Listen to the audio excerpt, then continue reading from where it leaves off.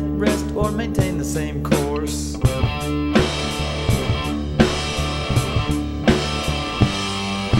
sum of the forces will be a big zero. The objects at rest or in constant motion. If change changes speed or changes direction, the force was the cause of the object's deflection.